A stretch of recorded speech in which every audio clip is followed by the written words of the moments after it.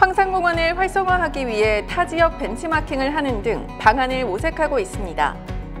2023년 중소기업 지원사업 통합설명회를 개최했습니다. 동북권역 학생 안전체험교육원 설립을 위해 경남도 교육청과 업무 협약을 체결했습니다. 4년 만에 개최되는 미나리 축제는 원동면 일원에서 다양한 프로그램으로 진행되고 있습니다.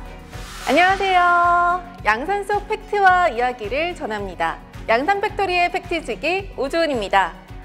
계묘년을 맞이해 시립 윤현진 도서관에서 2023 신년 세화전을 개최합니다. 전시회는 제가 지금 서 있는 이곳 도서관 1층 다목적 홀에서 하고 있는데요. 2월에는 민화동아리 화랑해가 주관하는 유별난 토끼가 진행이 되고 12월까지 분야별로 진행될 예정입니다.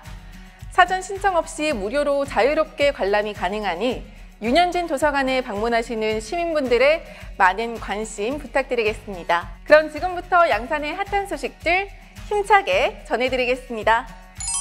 준비되셨죠? 양산시는 전 직원을 대상으로 낙동강 생태탐방선을 승선해 체험하는 낙동강 생태탐방선 벤치마킹을 시행했습니다. 나동현 양산시장은 낙동강 협의체를 대표해 지난 1일 부산시청을 방문해 박형준 부산시장을 만나 낙동강 협의체 공동 건의문을 전달하고 낙동강 백길복원 관광자원화와 생태 탐방선의 유람선 승격을 위한 적극적인 협조와 지원을 공식 요청했습니다. 양산시는 전 직원을 대상으로 낙동강 생태 탐방선을 승선해 사업에 대한 이해도를 높이고 낙동강 백길을 관광 자원화하는 방안을 모색했습니다. 운항사인 부산관광공사와 협의를 통해 현재 매주 수목금에 운항 중인 물금, 대동, 물금 구간의 운항 횟수를 1일 1회에서 1일 4회로 늘려 전 직원이 탑승 가능하도록 했고 벤치마킹 종료 후에는 낙동강 관광자원화와 관련한 참신하고 혁신적인 아이디어 발굴을 위해 공무원 아이디어 공모전을 실시했습니다. 또한 나동현 양산시장은 1박 2일 일정으로 서울 한강 일대와 홍제천, 춘천 남이섬, 충주 탕금호 등을 방문해 역점 추진 중인 황산공원 활성화 사업의 성공적인 추진 방안을 찾는 데 주력했습니다. 양산시는 지난 7일 2023 중소기업 지원사업 설명회를 경남 중소벤처기업청과 합동으로 개최했습니다. 이번 설명회에서는 경상남도와 경남 테크노파크, 한국산업기술진흥원 등 다수의 기업 지원 기관 관계자 300여 명이 참여한 가운데 각 기관들의 지원 정책 방향, 자금 지원 등에 대한 설명과 함께 기관별 기업 지원 책자 및 안내 자료가 제공되었고 각 기관들은 별도의 1대1 상담 부스를 마련해 기업별 맞춤 전문 상담도 병행했습니다. 양산시는 고금리, 물가 상승과 복잡한 국제 통상 환경 등 여러모로 어려운 한 해가 될 것으로 예상된다며 여러 기관의 지원 사업을 통해 기업 지원에 최선을 다하겠다고 밝혔습니다. 양산시와 경남도 교육청이 가칭 동북권역 학생 안전 체험교육원 설립을 위해 적극 협력키로 하고 지난 1월 시청 상황실에서 업무 협약을 체결했습니다. 협약식에는 나동현 시장과 박종훈 도 교육감을 비롯해 두 기관 관계 공무원이 참석했으며 도교육청은 경남 동북권 학생안전 체험교육 여건 개선을 위해 교육원을 설립 운영하고 시는 교육원을 설립 운영하는 동안 부지를 무상으로 사용케 하는 등 두 기관이 교육원을 안정적으로 설립 운영할 수 있도록 상호 협조한다는 내용의 협약서에 서명했습니다. 유치원생과 초중고 학생들이 각종 재난과 안전사고 유형의 대처 능력을 키울 수 있는 다양한 체험시설을 갖출 예정으로 총 290억 원의 사업비가 투입되며 창원과 김해, 밀양, 양산 등 경남 동부 지역의 안전체험 시설 기반 부족을 해소할 것으로 기대됩니다. 요즘 원동에서는 봄내음 향긋한 미나리 수확이 한창인데요. 양산시의 봄을 알리는 원동 미나리 축제가 4년 만에 원동면 일원에서 개최됐습니다. 코로나19로 인해 4년 만에 개최되는 원동 미나리 축제에서 행사 기간 동안 원동면을 방문하는 방문객을 대상으로 친환경 청정 지역에서 바로 재배된 원동 미나리를 맛도 보고 즐길 수 있게 됐습니다. 원동면 주민자치회에서 주관하는 이번 미나리 축제는 원동, 가고 싶다, 머무르고 싶다라는 부제로 미나리 시식 및 판매, 농산물 로컬푸드 판매장 운영, 향토 음식 경연대회 등 다양한 프로그램으로 진행하고 있습니다.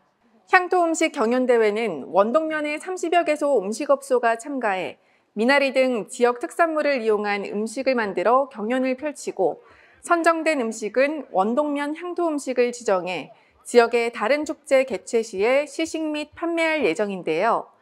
양산시는 이번 축제로 인해 원동 미나리 및 특산물의 판매 증가로 농가 소득이 증대되고 많은 관광객들이 아름다운 원동에 방문하기를 기대한다고 밝혔습니다.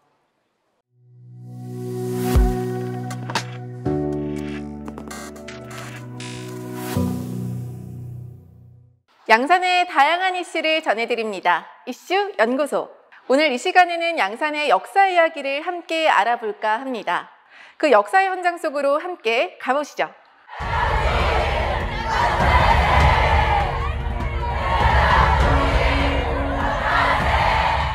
역사와 문화가 숨을 쉬는 우리 양산. 만약에 선조들의 희생이 없었더라면 우리는 어떻게 살아가고 있을까요?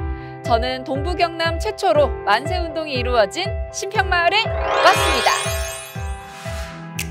양산 독립만세 운동이 이곳 신평마을에서 이루어졌다고 합니다.